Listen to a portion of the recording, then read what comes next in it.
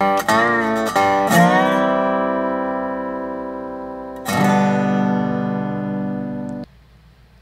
morning, everybody, and welcome to Coffee with Craig, where we talk about all things politics, firearms, firearms policy, you name it. We're talking about it right here on Coffee with Craig. Thank you so much for tuning in.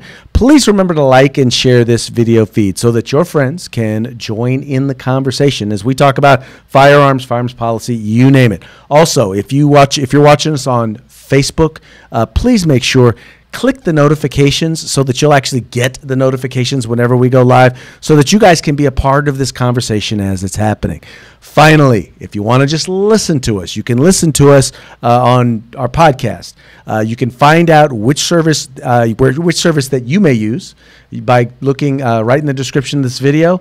Just look for anchor.fm forward slash coffee with Craig, and there you'll find uh, Spotify, uh, Google Podcast, Apple Podcast, you name it, iTunes, we're there. So you'll be able to find us there as well. Also, want to encourage you guys, please take a moment, go to fpcgear.com. That's fpcgear.com. All sorts of cool t shirts, coffee mugs, hoodies, uh, all different ways where you can show your support for the Second Amendment and actually be supporting the Second Amendment because every dollar that you spend there goes right back into the fight for our right to keep and bear arms. Support the Second Amendment. Look at doing it. That's fpcgear.com. All right. You guys know that I've talked to you guys a lot about how. Uh, how anti-gunners are actually they realize that they can't actually ban guns or at least they can't ban all guns so what they've tried to do is they've tried to nibble around the Second Amendment. They've tried to uh, here and there go after uh, various different things and places, like going after ammunition, going after firearms retailers, uh, trying to whittle down the people who are able to own firearms, but also uh, trying to whittle, you know, whittle down and reduce where we can actually go and exercise our right and actually practice and actually train and become proficient with our firearms. Well, one, unfortunately, one such uh, attempt is taking place in San Diego County, California. Uh, and with us to talk a little bit about what is going on, uh, what is going on there in San Diego, is a good friend of the Firearms Policy Coalition, Mr. Mike Schwartz of San Diego Gun Owners. Mike, welcome to the show. Thanks for having me, Craig. Appreciate it. Well, it is, always, it is always a pleasure whenever I get a chance to hang out with you, sir, even if it's online. So tell us a little bit about what's going on down there in San Diego. So there are, you know, the County Board of Supervisors, which is, for those who uh, aren't familiar, a County Board of Supervisors is like a city council, but for the entire county. Um, one in particular, one of the county board uh, members here in San Diego, has been trying to shut down shooting on public lands for years. Um, I, I, my, I believe it has to do with some very tiny group of people uh, who are uh, just the squeaky wheel, and they keep bothering her about it. They don't want people shooting on public lands. They don't want people off-roading on public lands. They're kind of these kind of these radical environmentalists so they've been working on her to try to stop shooting on public lands. Now she's county level, and the public lands that we're talking about are federal. So she's been, you know, try, getting a hold of the BLM and uh, Bureau of Land Management and trying to uh, get them to stop shooting. And finally, what happened was uh, today, actually this morning, uh, she put a um, uh, resolution, or more than a resolution, it's actually a a regulation in front of the entire board to stop to to actually tell the BLM um, to you know uh, stop shooting on, on BLM land. And the reason she's able to do that, even though they're federal and and uh, she's county, is that back in 1990 they actually entered into a, an agreement, a memorandum that basically says, in a nutshell, that the BLM, the federal land, will pretty much do what they're directed to do by the county. So this county supervisor, her name's Diane Jacob, and she, by the way, goes around all the meetings and all the you know community talks and everything, and talks about how pro Second Amendment she is. has done absolutely nothing to support the Second Amendment. Has done absolutely nothing to support local issues, like when they banned the gun show here recently, or when we were working hard to get CCWs. She had absolutely no interest in doing anything like that. She's all talk, um, unfortunately. Um, but when it came to trying to ban public lands, well, boom, she automatically gets a regulation authored and in place. And uh, unfortunately, today it passed. Uh, passed two to three. Now, one of the things that was interesting that I that I found in this was, you know, one of the members even asked, well, you know, have we done anything to try and and mitigate some of the concerns? Like, for example, you know, maybe if people are if people have an issue with, you know, rounds going various different places, have we done anything to try and and and maybe redirect the direction that that these ranges are? Uh, they also brought up the idea of well, where are these other places that where people can go and shoot? And and sure enough, I mean the fact the very fact that city staff couldn't tell you, and then they turn around and still voted and approved it not city staff, county staff couldn't couldn't even tell them where where's the where are the places where they can go shoot. I, just thought I just thought the whole thing was looked like a, a serious dog and pony show. It was so sloppily done. Uh, there, they, they, it was passed on for, for two different reasons, uh, two different excuses, I should say. One was that they said that there were houses that were being shot at um, and the other reason is that they were, uh, they said that shooting in these public lands are uh, was a fire risk. So they didn't have really any evidence or proof of any of this. Um, they were talking about how uh, some of the houses that were miles and miles away, um, there is recreational shooting going on, they have to hunker down in place and, and uh, you know, dodge bullets, which is absolutely ludicrous. Um, and and to, to support that claim, they weren't able to produce a police report. They weren't able to produce any kind of evidence that any of that is, is going on. In fact, the closest houses to the areas where where the shooting is allowed are, is they're miles away. One of them you'd have to shoot over a mountain to get a bullet to a house. Um, it's absolutely ridiculous. And they did say that there were over 300 uh, phone calls in that area to local sheriff's department, um, and then come to find out that uh, seventy uh, percent of those phone calls were from two different people.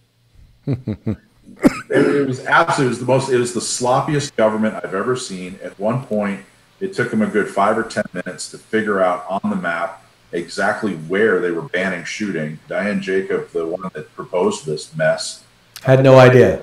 She had no idea. She couldn't even point out on a map where exactly Ab- abs- she had absolutely no idea. And the, you know, the other thing was there was the a gentleman who gave testimony that talked about the various different rounds that could actually uh, spark a fire, and the very fact that none of those are rounds that would have been or could have been used. None of those firearms are firearms that are firearms that would have been used. Um, you, you you also pointed out you know the the issue relating to the relating to the distance but even with all of that, there the, the thing that really got me was there was absolutely no attempt to the only attempt to address the issue was to ban shooters. And then the funny part was she kept saying, "Well, this will this won't ban all shooting, just target shooting," as if as if hunting and target shooting are the same thing. So I can be out there hunting if I target shooting if I just say I'm hunting. I I mean, what is she? What I didn't get. I didn't get what her point was, except she reminds me of a lot of the a lot of the folks. And unfortunately, for those of you out there who enjoy hunting, I'm not and, and are listening to the show. I'm not necessarily talking about you, but one of the biggest challenges we have in the gun rights community, in the Second Amendment advocacy community, is we have a lot of hunters out there who really don't care about the Second Amendment. They just all they care about is whether or not they can hunt. And what they don't realize is is that as they come after our rights, what, eventually what they're going to do is they're going to get they're going to just get rid of firearms. Period. But you know, though, anyway, but that but that's what it sounded like to me. Well, she definitely lied her way to victory. Um, she she was not truthful about a number of things, but what she was trying to do was paint herself as you know Annie Oakley, you know, some kind of pro Second Amendment politician She's been in office for almost 30 years. She represents the East County uh, of San Diego County, part of San Diego County, where firearm, you know, shooting sports is very, very popular. So she was, you know, hoping to cover her uh, in that way, but it was really horribly done and just sloppily put together. And uh, you know, we've, you know, she tried to tell me I, I met with her in person and we talked about this. Um, about a year ago, uh, there was a fire in one of the areas. Now, keep in mind that this is, you know, there's like a million, literally a million acres in in San Diego County of, of BLM land, and she was pointing that out. You know, hey, there's all this this acreage, hundreds of thousands of acreage. We're just trying to shut down a couple spots. Well, what you know, what's misleading about that is that uh, there's really only about four or five areas where you can actually shoot. You can actually get to. I mean, you can't. You know, some of the areas in BLM land are you know deep canyons and high mountains. You can't get up on top of the mountain, and, you know, it's not a shooting area. So there are really only about four, five, six places uh, that you can actually shoot, and they're shutting down about 50%. So half the places you can actually go shoot are going to be shut down. But about a year ago, there was a fire there, yeah, but it wasn't in one of the shooting areas. It was just outside of the shooting area, still on BLM land, and it was in an area where the grass was had grown, uh, you know, uh, and, and died. So it's a lot of dry grass and a guy named Mike Johnson, who runs an organization here called SD Must, and all, their whole purpose and all they do is go out and clean public lands. Great organization. They work very, very hard. They've been doing it for 15 years. They actually wrote to the BLM and said, "Hey, we we noticed this area is a fire hazard. We want to go help. We want to clean this all up for free. All we need is authorization, and we'll take care of this fire hazard."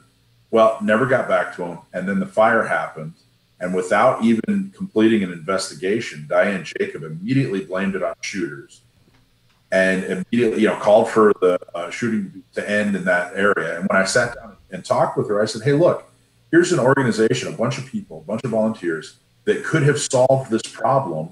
Why don't we pursue helping them out, giving them resources and authority and whatever they need to be successful? Well, she didn't pursue that at all, which tells me it has absolutely nothing to do with finding alternatives or working with gun owners or fire safety. All it has to do with is banning shooting. Well, the, the other interesting thing that you pointed out was that was an area that was too close to, to a highway. They, they weren't really supposed to even be shooting there. Yeah, it was the area where, where they where the fire started, and there's no, I can't find anything conclusive that uh, that says that it was the shooting that caused the fire. There were some people there. They were shooting. There was a fire. That those are all facts. But mm-hmm. it really put together. I don't know if they dropped a cigarette or if they, on the drive out there, uh, you know, their their their car, uh, you know, catalytic converter, you know, set fire. There's a lot of ways that they could have set fire, but they were shooting way too close to the road, illegally close to the road. So a new uh, restriction would not have stopped that fire. This restriction they voted for this morning would not have stopped that fire. They, they were still breaking the law. They were doing something. Well, he, but here was the other thing. Now, they pled guilty to starting the fire. Why did they need to plead guilty to something if they weren't already doing something illegal? Yeah, yeah, exactly. What did they plead? What did they plead guilty? So, in other words, having a law that, for, that forbade, some, forbade someone from doing something didn't keep them from doing it, did it? And so, now, we're just going to, now we're just, so in other words, criminal breaks the law, so now you just take it away from everybody. Yeah, and, and they, and she latched onto that, not, you know, that fire, it's, it's, it didn't, the fire didn't make her think, okay, well, gee, we need to do something. She mm-hmm. was in the process of trying to ban shooting. She latched onto that fire um, in order to help make her case. Mm-hmm. It, it really, as you saw, um, most of her case really didn't stand up to scrutiny. And I was really hoping that we could get one more person on that board to see through um, her ridiculous, mm-hmm. the ridiculous case that she was making and, and, vote our way. But that, that didn't happen, unfortunately. So, so what, what, uh, what, are the next steps, steps for Cal- for uh, San Diego San Diego County gun owners? So I can't I can't get into the details, but we're working. So this is BLM land; it's federal land. Right. We're actually working with uh, the federal government. It's their land. Uh, I can't really talk about the details. I want to wait until it actually happens. But this is not the ban's not going to even take place. The ban's not going to happen. Uh, today they voted to uh, draw up a regulation that would result in a ban, and they gave them a 120 day timeline. Mm-hmm. I'm telling you right now, that's not going to happen, and it really looks like we're, we're going to end up better off than we started. Um, they're not going to ban. There will be no ban on federal property, and uh, as far as shooting goes, and it looks like we're able to work on opening up new areas on mm-hmm. federal land uh, for, for people to enjoy shooting. So this vote was bad. You never want to vote to go against you, but it's not going to result in a ban. It's not mm-hmm. going to happen. So, so let me ask you this: What, what does uh, anything anything next for uh, San Diego gun owners and uh, Ms. Jacobs? Well, she's actually termed out. Oh. So she has two more years. Um, we, we endorsed her last time around. Mm-hmm. Um, and ended up, she had an opponent, that, and we liked the opponent a lot, but he ended up not filing the paperwork and, and didn't actually go. Oh. Right? So there are at least two people that are going to run, at least two. Of course, this is two years away.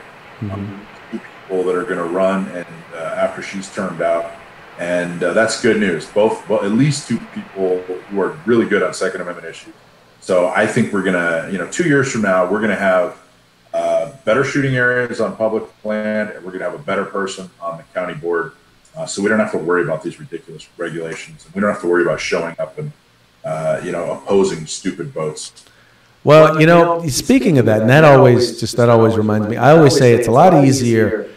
It's a lot easier to go before liberty-minded people and ask them to make uh, decisions that defend liberty than it is to go before tyrants and ask them to make decisions uh, that that would support liberty. So with that, uh, take a few minutes and explain to our, our, our, viewers exactly, you know, who San Diego County gun owners are and what you do.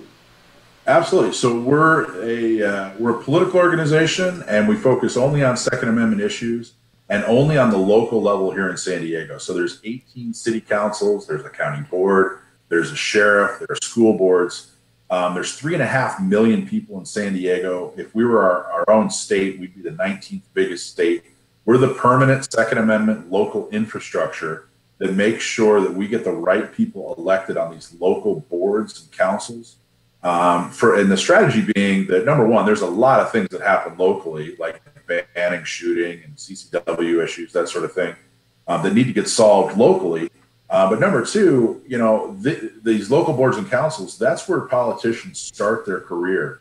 So once they get to Sacramento, where you guys have to, you know, uh, work with them, we want to make sure that we're sending the best people up to Sacramento. Um, and, and by doing that, we're filling, or, or in order to do that, we're filling the bench to make sure that people who run for Sacramento and Washington, D.C. are pro Second Amendment. Well, there you go. How do people get a How do people uh, get a hold of you or find out uh, what's going on with San Diego County gun owners? Sure, we have a lot of events. We engage with media all the time. Uh, we do a lot of different uh, things to bring the Second Amendment community together in San Diego. The best way to follow us is go to our website, San Diego County gunowners.com, San Diego County gunowners.com. Sign up for our newsletter, come to our monthly meetings, come to one of our many events and uh, become a member. Membership's easy; it's only ten bucks a month, and uh, we'd love to have you. Excellent, Excellent sir. Excellent. Excellent. Well, we very much appreciate you. We appreciate the work that you do. Uh, you know, we're, we're all fighting this battle on various different fronts, and we all know it ain't easy. So. I appreciate, uh, once again, the work that you do, uh, the fact that you're there on the ground and you're helping to make sure that good people are being sent uh, to Sacramento and to Washington, D.C. from there in the San Diego area. That's how it gets started. Well, thank you, Firearms Policy Coalition. You guys have been extremely supportive of us from the very beginning, and I can't thank you enough. You guys are a great organization. You and Brandon do wonderful work, and I, I just thank you. It's just not enough. I, I really appreciate it. Well, once again, we appreciate you, sir. Everybody, Michael Schwartz, San Diego County Gun Owners. All right, folks. Well, that's going to be it for today's Coffee with Craig. We very much appreciate you guys tuning in. Uh, please remember to like and share these videos. Tell your friends about the Firearms Policy Coalition. We are the home in the fight for civil rights. Got to use them or you're going to lose them. You guys take care. If you like our videos, follow, subscribe, like, and share.